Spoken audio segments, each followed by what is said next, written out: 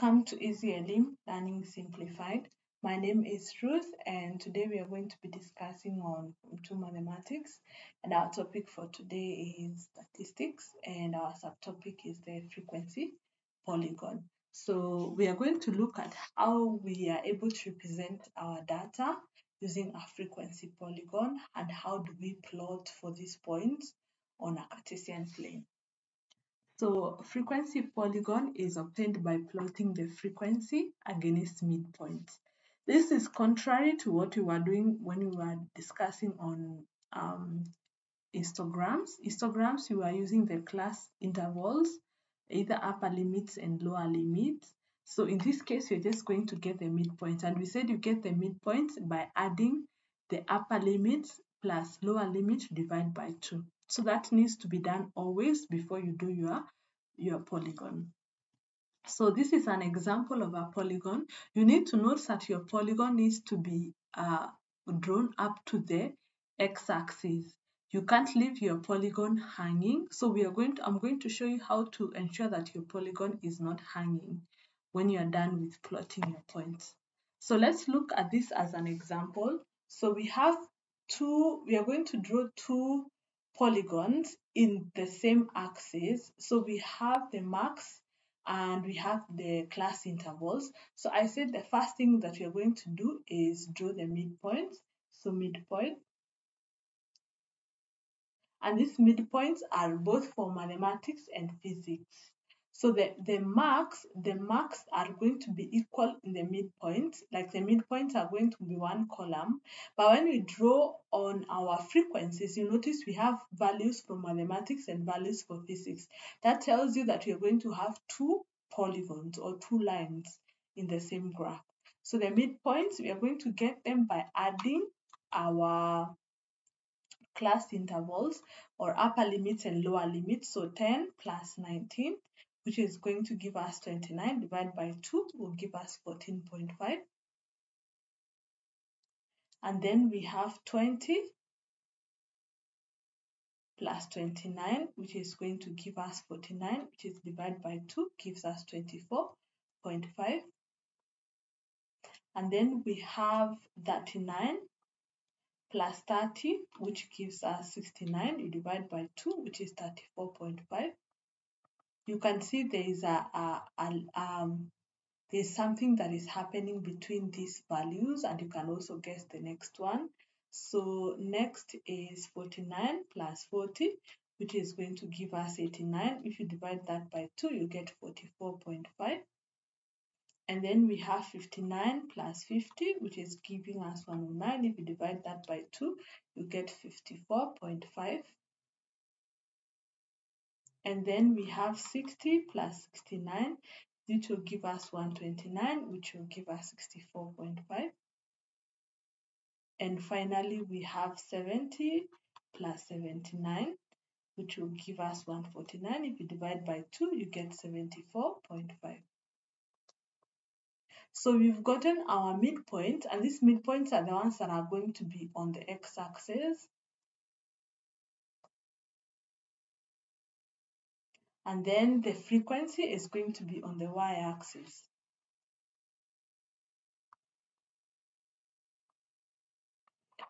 So how are we able to determine how we place what you place on the x-axis and what you place on the other end of the other x-axis? So you notice the difference between each and every midpoint. For example, if you pick the first one, which is 24.5 minus 14.5, you notice the difference is 10. That tells you if you take 14.5, you subtract 10, you will get an initial value, which is going to be 4.5. So this 4.5, you're going to plot it on the x0, 4. Point, a frequency of 0 and then 4.5.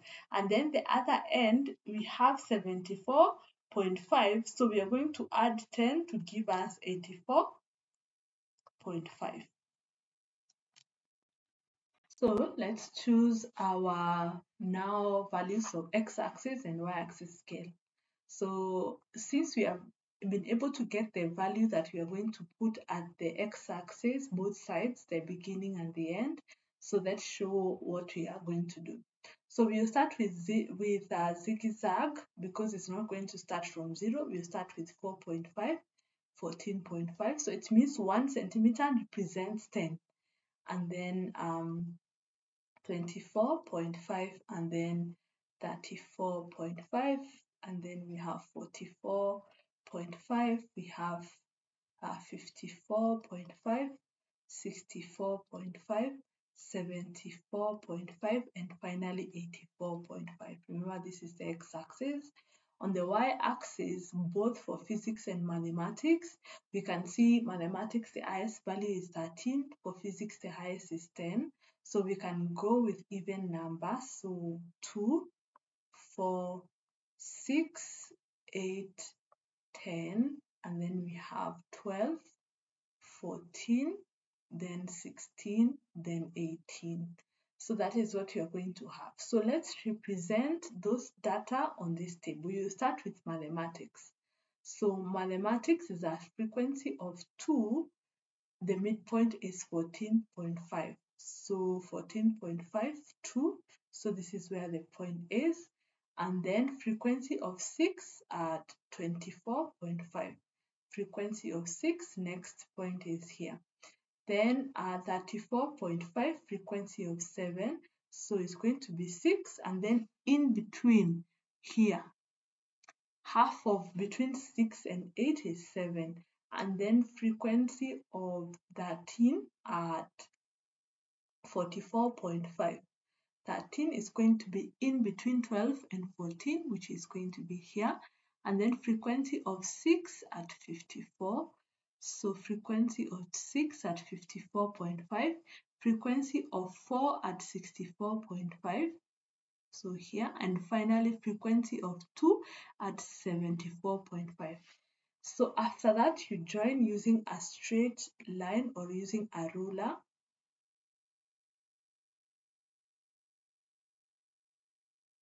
Mine may not be that straight. Make sure yours is straight. Use a, um, a ruler so that it can be easier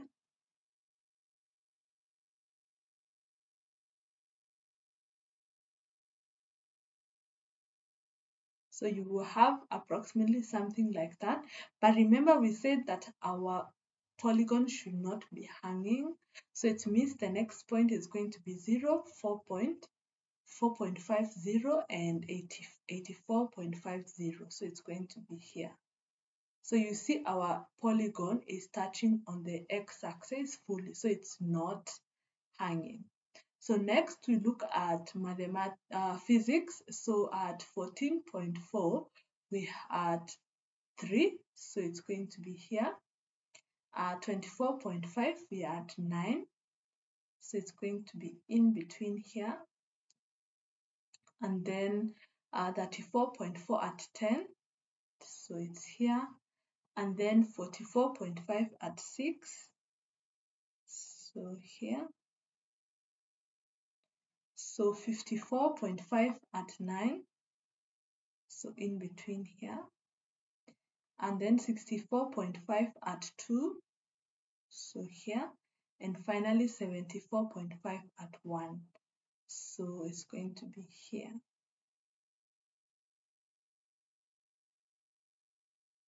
so let's join the points remember we said you use uh, a ruler